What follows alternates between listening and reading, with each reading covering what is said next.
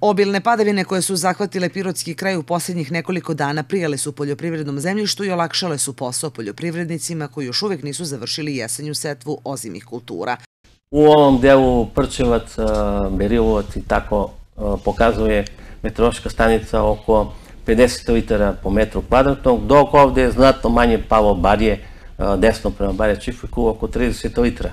Babuštica je dobila velike količine, 75 litra po metru kvadratnom, tako da su to značajne padavine. Inače, možemo da kažemo da je duži period vladala ta jesenja suša i ona je jedan faktor, da tako kažem, koji je razvukao setvu pšenice i ozimih strnih žita. Poljoprivrednici iz naše kraja iz nekoliko razloga kasne sa jesenjom setvom, kaže Vidanović i dodaje da će posle kiše biti lakše završiti započeti posao na terenu. Ne verujem da je posejano preko 50% od planiranih površina sa ozimim strnim žitima, jer su sejali samo oni poljoprivrednici kojih sada ima sve više i više sa jakom mehanizacijom, odnosno sa teškom mehanizacijom koji su mogli da uđu u parcele i u suvo zemljište i polusuvo da urade pripremu redukovanu, makar teškim tanjiračama i tako. Poljoprivrednicima savjetuje da nastave sa poslom, jer nije prva sezona da se probijaju rokovi setve ozimih kultura.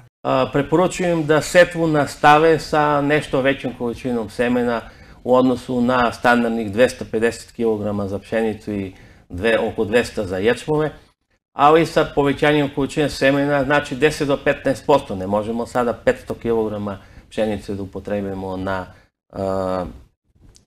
po hektaru. To je nedozvoljeno velike količine i da makar ako koriste merkantilnu pšenicu da urade selektiranje. Savetuje proizvođače da se ne ustručavaju u primjeni đubriva.